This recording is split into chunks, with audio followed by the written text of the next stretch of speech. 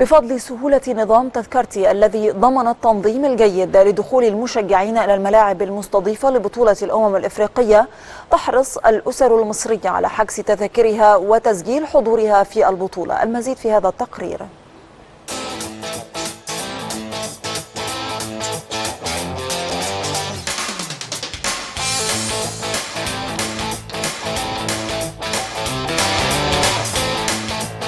أصبح المشهد الأسري هو السائد بمنافذ تذكرتي المختلفة. فهنا بالمركز الأولمبي بالمعادي حرص محمود سمير على اصطحاب أسرته. أثناء استلامه تذاكر المباريات وبطاقة المشجع الخاصة بهم. في استعداد خاص لاستقبال بطولة الأمم الأفريقية 2019 هو يعني بعد فترة كبيرة من كأس الأمم 2006 إن كان في أسر كتير ان هي تروح تتفرج على المطوشه وكده فطبعا دي فرصة كبيرة جدا. وحتى كمان الأسرة عندي إن هي متحمسة جدا لازم تروح الماتش ولازم تتفرج على المنتخب يعني في كل الماتشات بتاعته إن شاء الله يعني.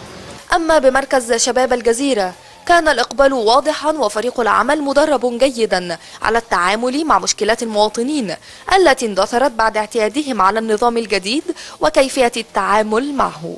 ال tickets كلها sold out يعني في ناس جاية على قد الناس اللي اشترت عايزة tickets تاني لأول ماتش بس يعني إحنا ال tickets بتطلع على, كل seat في الاستاد مش هنقدر نطلع tickets أكتر من كده. بنجيب تذكرة من على النت دي جميلة جدا حاجة ما كانتش موجودة قبل كده وبعدين بتقضي على السوق السوداء النظام اللي أنا شايفه ده ما فيش حاجة اسمها سوق سوداء. يعني ال- ال fan ID هو اللي هياخد التذكرة وهو اللي هيخش ما ينفعش حد تاني يخش وما ينفعش يبيعها.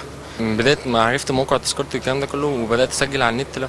يعني كان الموضوع سلس جدا بقى. لما جيت هنا كمان يعني لقيت الموضوع سلس أكتر. يعني بصراحه ما خدش وقت خالص في لما استلمت ال ID وال ticket والكلام ده كله. بالنسبة للموقع إن هو اتعمل في مصر فحاجة جميلة جدا ويا ريت تفضل مطبقة يا ريت تفضل مطبقة على مستوى الماتشات وإن الجماهير ترجع تاني الملعب بحيث إن يكون في روح أصلا في الكرة المصرية تاني زي زمان. النظام آه، كل حاجة بال system فعلا ومفيش يعني مفيش مثلا واسطة مفيش حد يجيب لقرايبه مفيش حد يجيب لأصحابه.